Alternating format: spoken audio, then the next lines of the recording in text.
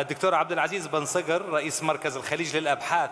في بعض الأحيان ولعل من يتابع هذا الحوار في بداية آه، ما جرى في في غزة من يشاهد الإعلام الغربي البعض بكى لمظلومية الإسرائيليين.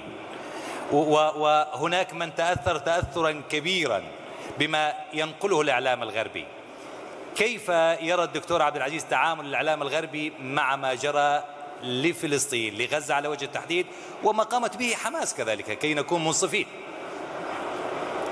شكرا لك أستاذ حسين. أنا اعتقادي أنه في عدة نقاط مهمة. النقطة الأولى أنه التساؤل الأساسي اللي في الذهن هل هذا جهل من وسائل الإعلام الغربي أم أنها سياسة موجهة بالتحديد؟ لأنه لا يمكن يكون صحفي متمرس ويشوف ما حدث بعد السابع من أكتوبر وردة الفعل الإسرائيلية اللي حصلت ويظل يصف ال victims وهو المدني الإسرائيلي. أما الفلسطيني الذي قتل واستشهد لا يوصف بأنه victims. يروح صحفيين إلى مدير البي بي سي ويقدموا احتجاج له ليقولوا أنه فرضت علينا مصطلحات معينة تستخدم. هل معقول أن تستخدم هذه المصطلحات فقط للإسرائيليين ولا تستخدم للفلسطينيين؟ الرئيس الأمريكي يقول وجدت ورأيت أربعين طفل قتلوا وتنشر الواشنطن بوست والنيويورك تايمز والسين ويتراجع البيت, البيت الأبيض بعدها. ويتراجع بعد كذا عن هذا. بعد إيش يتراجع؟ بعد ما وصل الاعلام لكل العالم أصبحت الصورة الذهنية بنيت بشكل أو بآخر فمع الأسف الشديد معايير مزدوجة معلومات مغلوطة غير صحيحة وتحيز سياسي واضح.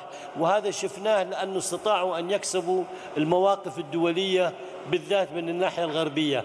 أيضا هنالك قصور من جانبنا في وصول الرسالة بلغة غير اللغة العربية.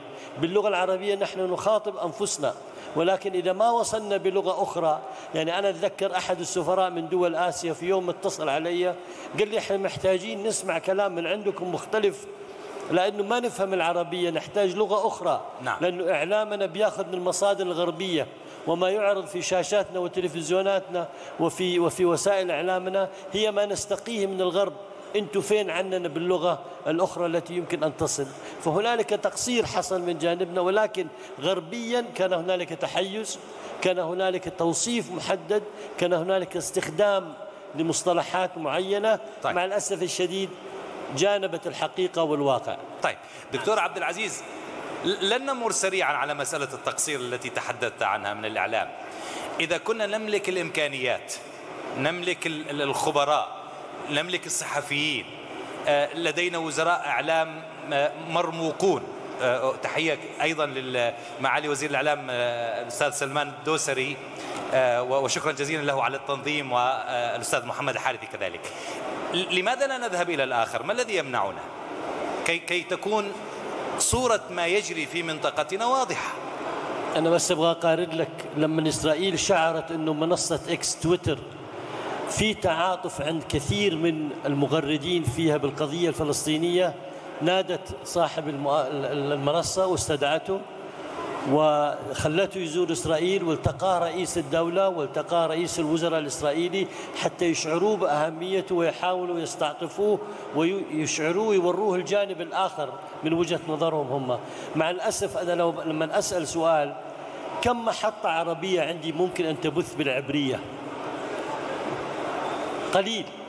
واللي ولكن شوف إسرائيل الآي 24 وشوف المحطات الإسرائيلية التي تبث بالعربية حتى تصل إلى الآخر.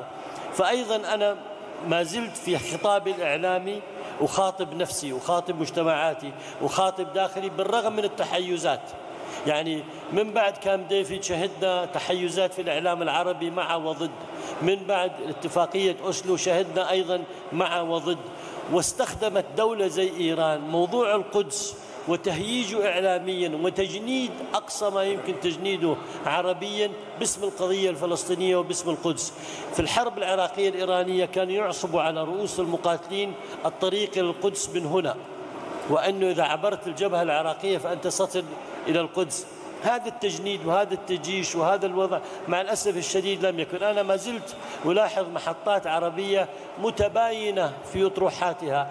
يغرق الصحفي في وصف الحالة التدميرية على الأرض وينسى أن هنالك صراع 75 سنة موجود في صلب القضية. هو يعطيني وصف دقيق لنوعية المبنى الذي انهد. لكنه لا يعطيني الطرح الحقيقي اللي أنا أبغاه فيما يتعلق بهذه القضية. فأيضا بحاجة إلى تدريب وتأهيل وصول الرؤية السياسية المفاهمة. كنت أتمنى يكون في تنسيق عربي بين وسائل الإعلام فيما يطرح وكيف يطرح ومن نخاطب في نهاية المطاف. هذا إن بقي وقت سنسأل عنه سعادة السفير يعني تنسيق بين وسائل الإعلام. آه، سعادة السفير اسمح لي.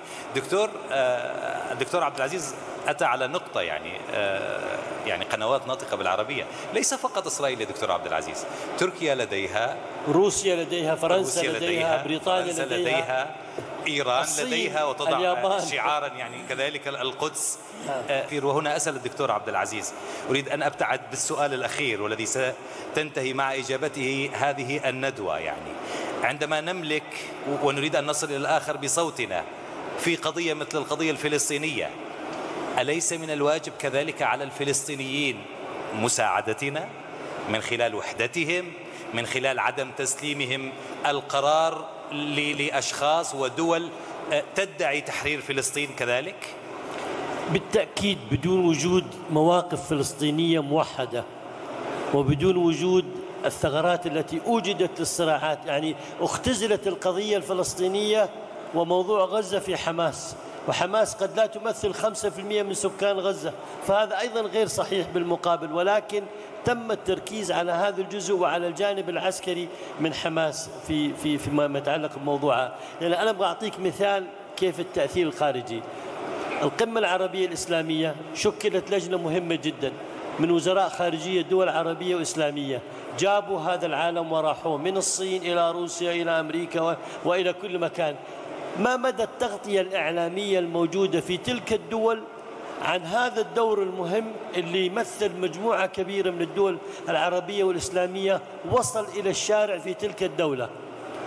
وهذا دليل على أنه إحنا هنالك تقصير فيما يتعلق بتعاوننا مع وسائل الإعلام الأخرى الخارجية حتى نوصل الحقيقة. يعني أنا كنت أتمنى في مؤتمر زي هذا أن يكون على الأقل نصفه من الدول الأخرى اللي يكونوا موجودين وليس يعني الغالبية عربية لأنه عربيا نفهم بعض ونفهم قضايانا ونعرف احتياجاتنا لكن إذا ما أستضيف الآخر وأقبل المساحة اللي هو يبغى يتحاور فيها نعم. وتحاور معه وقدم رسالتي اللي أنا أبغاها بالإقناع نعم. وبالحجج الواهية الصحيحة الحقيقية شكرا جزيلا لكم جميعا الضيوف الأكارم آه، الضيوف على المملكة العربية السعودية وعلى المنتدى السعودي للإعلام الدكتور سعد بن طفلة العجمي وزير الإعلام الكويتي السابق وكذلك أشكر الأستاذ غسان شربل رئيس تحرير الشرق الأوسط وكذلك أشكر سعادة الأستاذ أحمد رشيد الخطابي الأمين العام المساعد ورئيس قطاع الإعلام والاتصال في جامعة الدول العربية الدكتور عبد العزيز بن صقر